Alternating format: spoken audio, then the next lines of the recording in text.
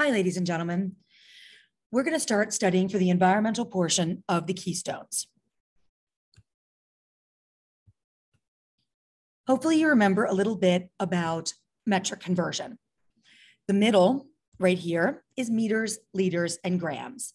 As we go up towards kilo, we're getting larger. As we go down towards milli, we're getting smaller. So let's do some practice problems. Over here, we have 10 grams and we need to get to kilograms. We're gonna start here in the middle at the one. We're gonna go one, two, three places to the left. So when we do that, we're gonna go one, two, three places to the left, ending up with 0.01 kilograms. Now we're gonna look at the second problem, 12.56 meters. We're again gonna start at the middle on the meters. And we're going to go to centimeters, one, two to the right. So we go one, two to the right, giving us 1,256 centimeters. Then we're going to look at this problem, 0.86 meters. Again, into the center. And we're going to go one, two, three to the right. So we go one, two, three places to the right giving us 860 millimeters. Now we're going to finally not be at the bench or at our meters, liters, and grams. We could start anywhere on the chart. This time we're going to start at centi and we're going to go to hecta. One, two, three, four places to the left. When we do that, we end up with 0.67839. Remember, all of these are equal. So 10 grams is equal to 0.01 kilograms. We're making an equivalency so that we can look at different meters for distance, liters for liquid measure, and grams for mass as we move forward in science. Make sure that whenever you see these um, inside the keystone, you can imagine this chart. If you'd like a way to help you remember it, you can think of Kyle hates dates because base units, dates cost money, or King Henry died by drinking chocolate milk, or any other silly way that you can come up with to think about these. Biotic versus abiotic. Biotic means living, and abiotic means not living. This prefix a means not. So a biotic thing is alive and an abiotic thing is not alive.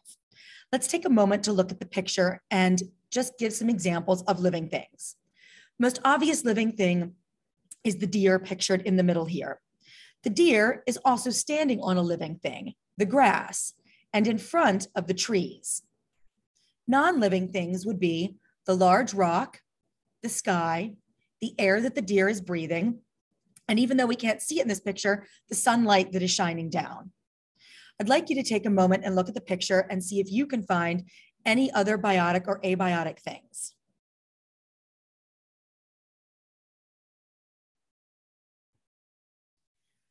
Levels of organization inside an ecosystem.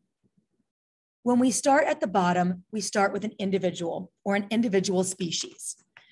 To make it simple, we're going to pretend that that's a goldfish he can be of any type. So goldfish is an individual species. When I have a group or a school of these goldfish, they're going to be called a population. This is a grouping of many individuals that are all of the same species. A community. A community is all of the populations that are in a given area.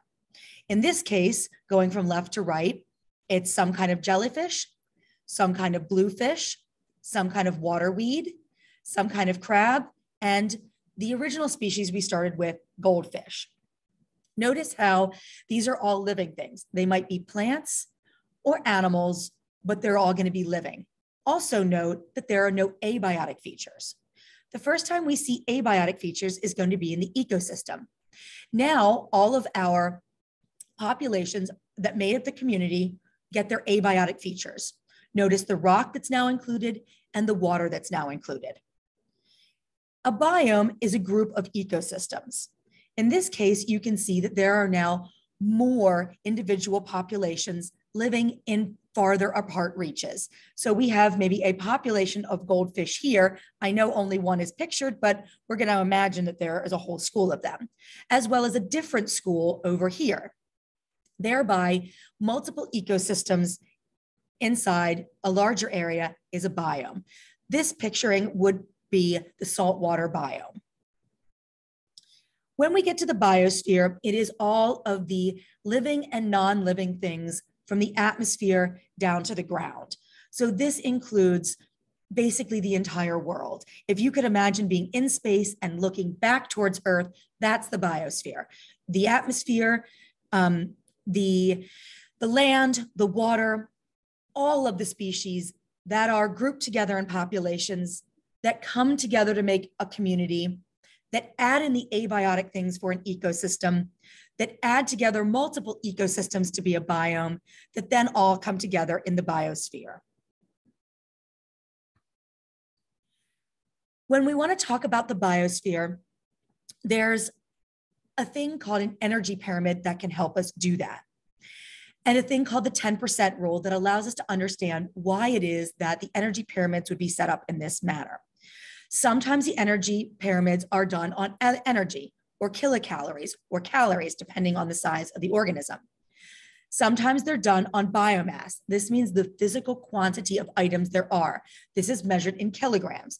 So I know it seems odd that you would say you have 100 kilograms of mice, but this would mean that this particular ecosystem could support this mass of mice. That might be one very um, large mouse or 10 very small mice.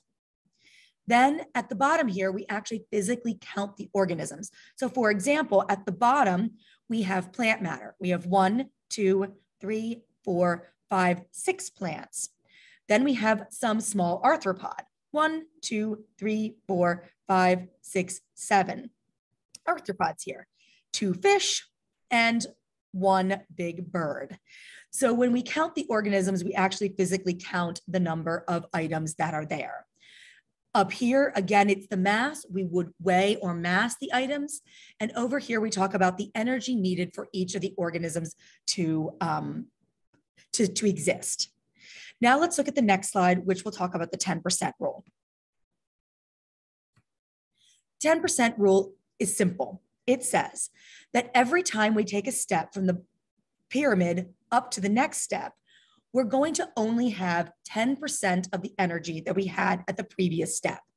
So, for example, if we imagine that the sun shines and the sun will grow as many plants as it can, what percentage of plants?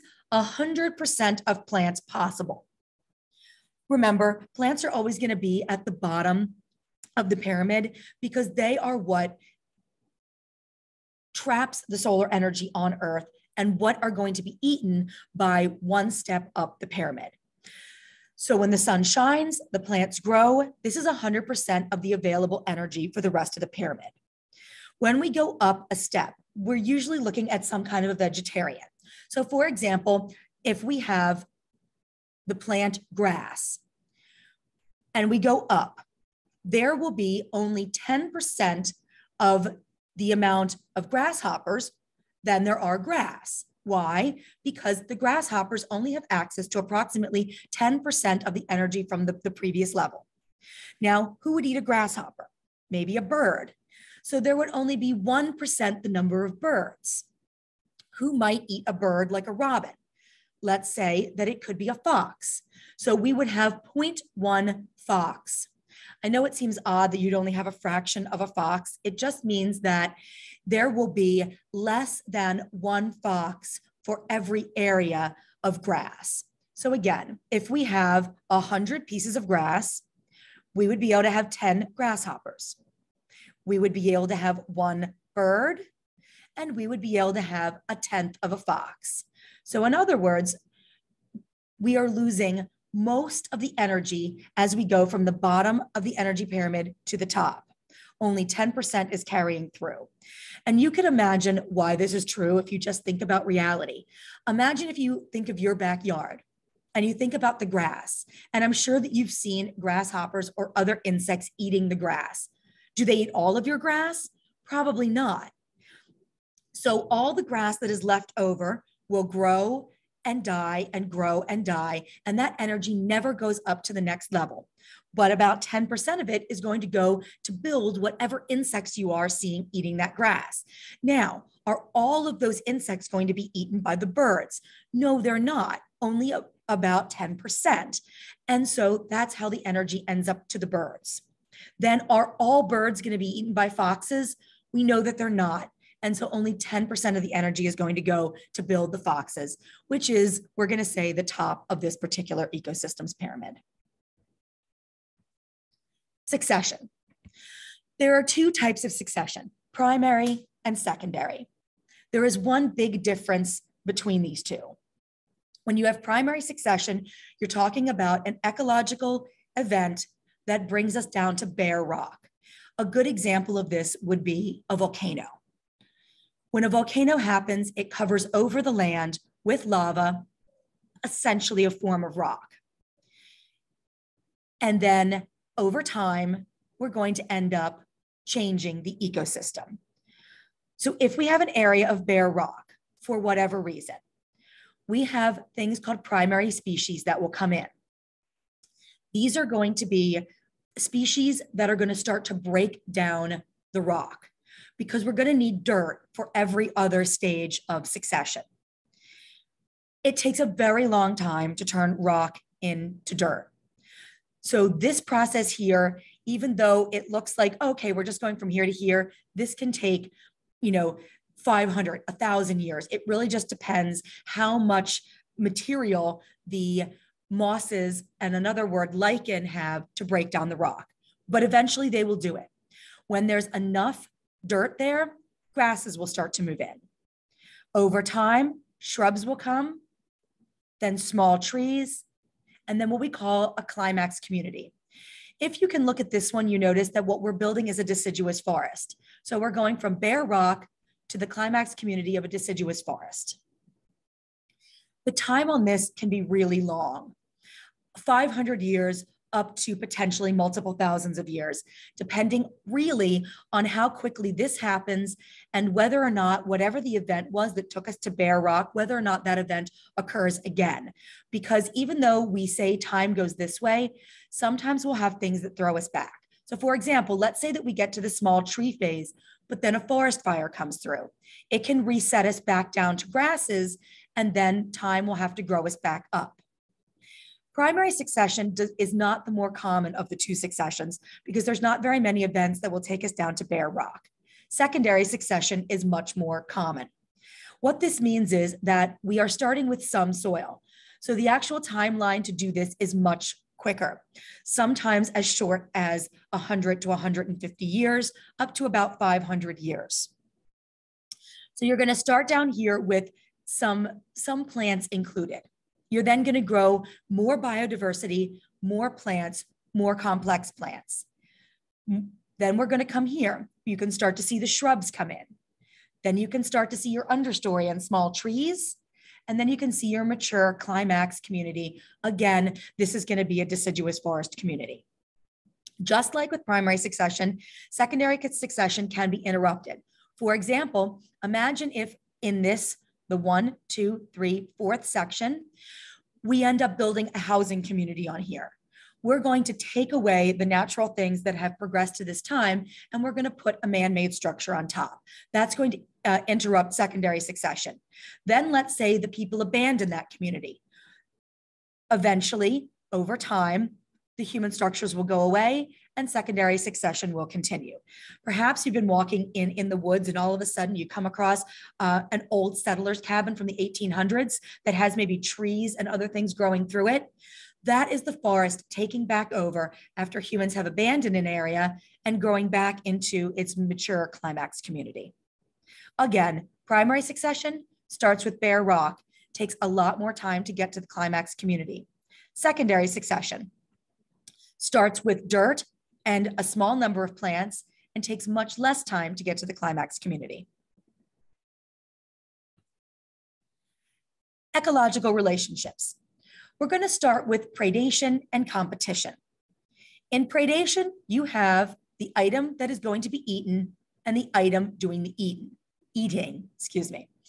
This is an ant and this is an ant lion. The ant lion digs a burrow.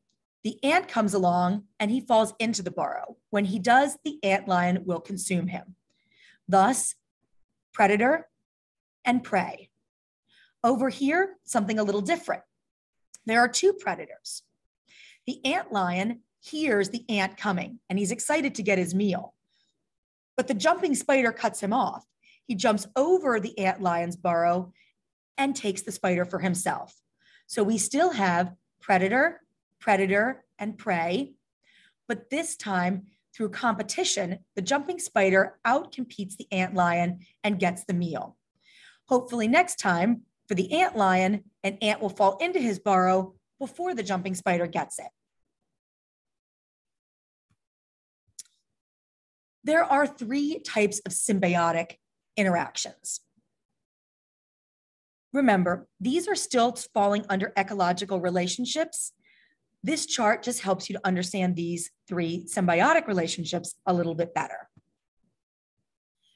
At the top, we have mutualism. If you notice, there are two happy faces. This because this is because both species are going to get something out of the relationship. Or in other words, species A is going to give something to species B, and species B is going to give something back. This is our famous Nemo one. You have a clownfish. The clownfish lives in the anemone. The anemone makes the clownfish sting. The clownfish makes sure that nobody eats the anemone. Commensalism. A benefits, B does not. And it's not that it doesn't, it's not that it gets hurt, it's just not affected either way. So the whale, a whale is an enormous organism. If a barnacle attaches itself to it, the barnacle gets a huge benefit. It gets swum through the water by no effort of its own, and it gets to collect its food. The whale is unharmed because the barnacle is so small that the barnacle cannot harm the whale or help the whale in any way. Parasitism. One is happy, one is unhappy. Hopefully, you've never had this experience with your dog. But if a tick gets onto your dog, the tick will bite the dog and draw blood. Thus, the tick lives and the dog is made to itch. If the situation gets bad enough, ticks can actually take so much blood that they can kill the dog. So, this is a hurt species and a benefited species parasitism. One more time benefit, benefit, benefit, no effect, benefit harmed. Biomes. We're going to take a look at some of the biotic and abiotic features for each of the biomes. I'm just going to give you a moment to look at this map, and then we're going to look at some of these biomes in pictures.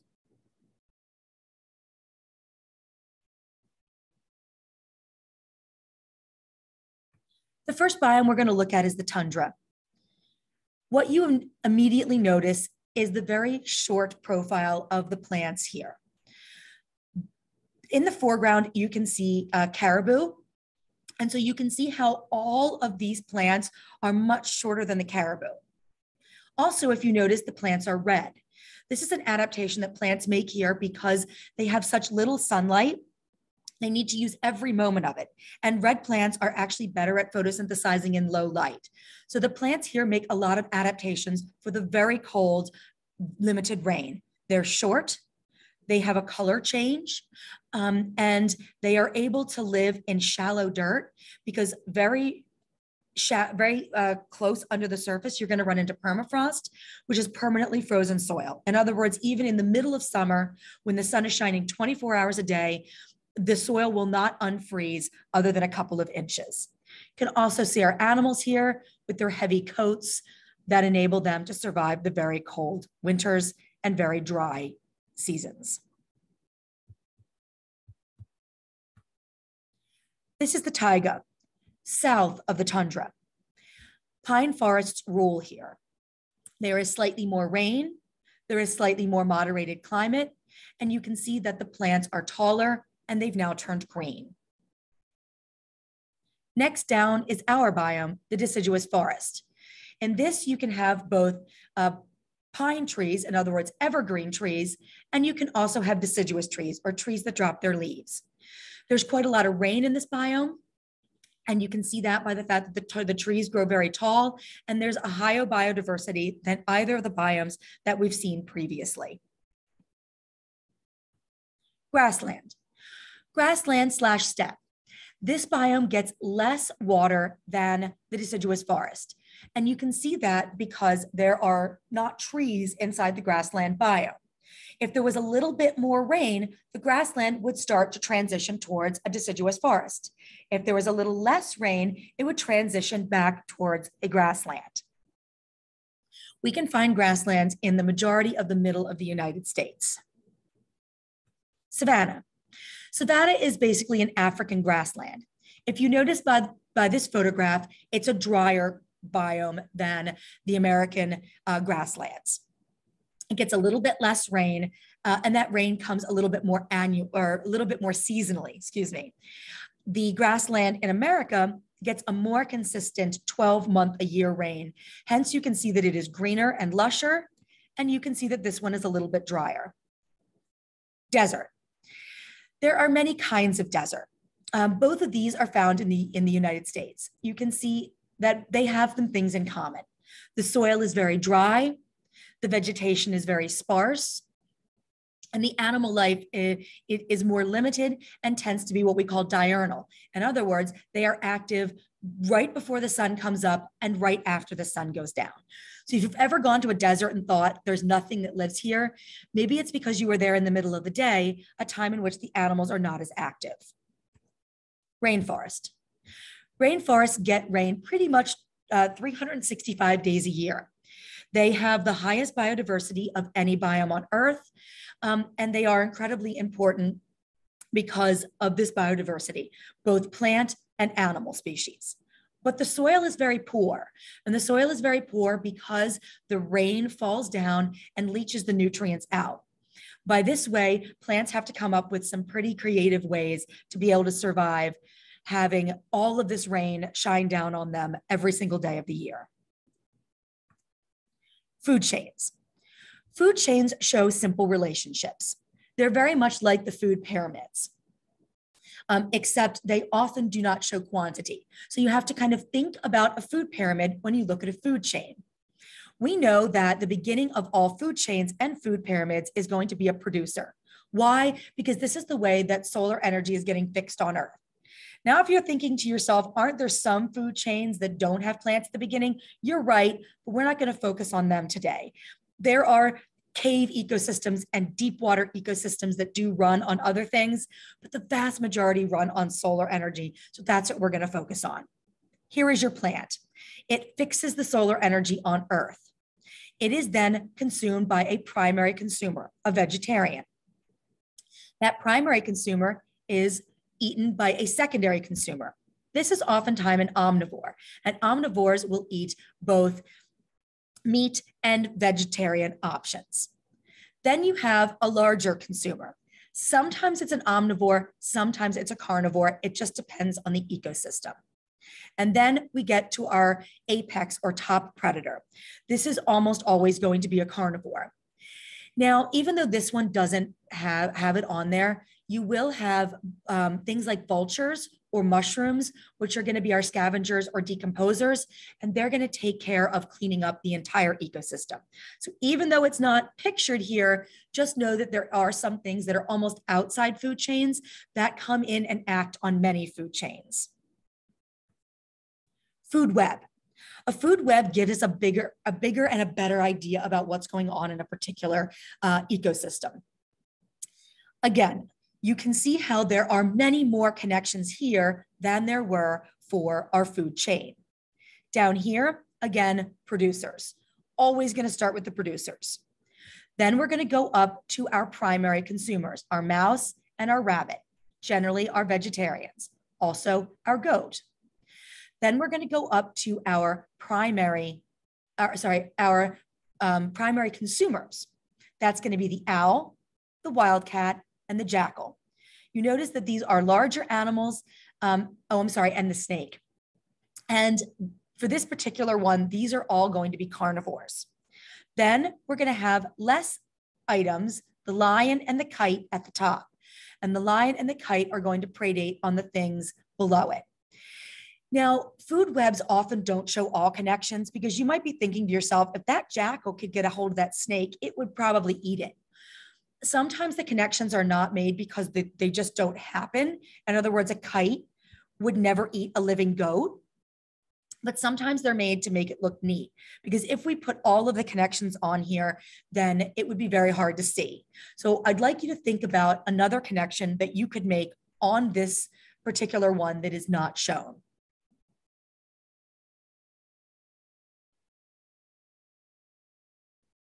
For example, maybe you said that the jackal could also eat the mouse. Remember, this follows the 10% rule. So there would be 100% plants, then 10% primary consumers, 1% primary, uh, sorry, secondary consumers, and then a fraction of your tertiary consumers. Biomagnification. Biomagnification is when a toxin like mercury moves through an ecosystem.